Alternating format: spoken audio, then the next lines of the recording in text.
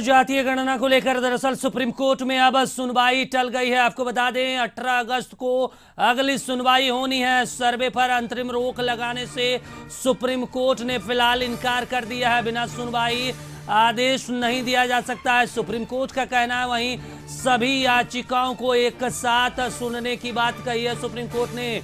तो देखिए, जातीय गणना को लेकर लगातार ये सभी राजनीतिक दलों की और पूरे बिहार की नज़रें टिकी हुई थी सुप्रीम कोर्ट को लेकर।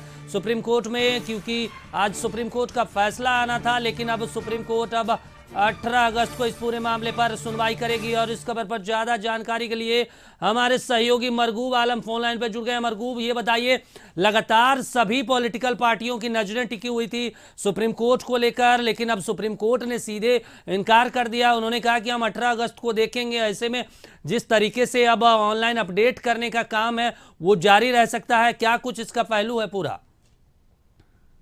देखिए ये भी राज्य सरकार के लिए एक राहत की बात है। जी। क्योंकि आज माननीय न्यायालय में जब सुनवाई शुरू हुई तो दूसरे वकील की दूसरे याचिकाकर्ता के वकील ने माननीय न्यायाधीश से कहा कि चूँकि हमारा इसी मामले को लेकर के 18 तारीख को याचिका लिखते है तो माननीय न्यायाधीश ने कहा कि मैं आज नहीं सुनूँगा अब 18 तारीख को ही एक साथ सभी याचिका को सुना जाएगा। जी।